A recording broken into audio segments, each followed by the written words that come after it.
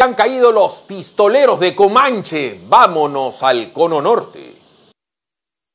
La de Pincre de Comas interviene a tres sujetos por el presunto delito contra el patrimonio robo agravado con arma de fuego.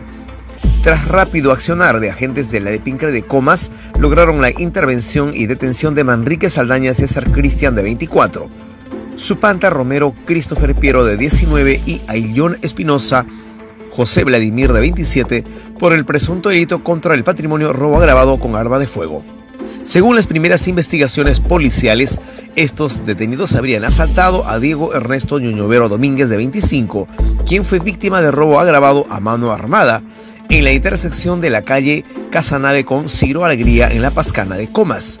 Este se dirigía a su centro de estudios, fue abordado por un mototaxi color rojo y blanco de lo cual descienden dos sujetos de la parte posterior, siendo estos de aproximadamente 25 años, de contextura gruesa, uno de ellos de tez blanca con capucha.